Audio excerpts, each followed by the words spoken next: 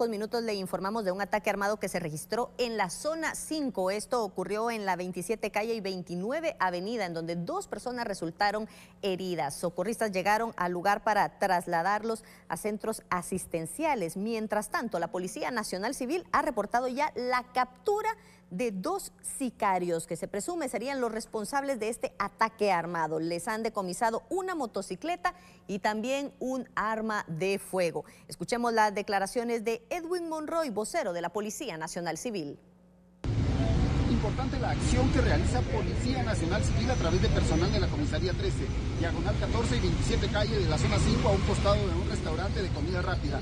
Los agentes han interceptado y neutralizado a dos presuntos sicarios, presuntos responsables de haber realizado un ataque armado que deja dos personas heridas.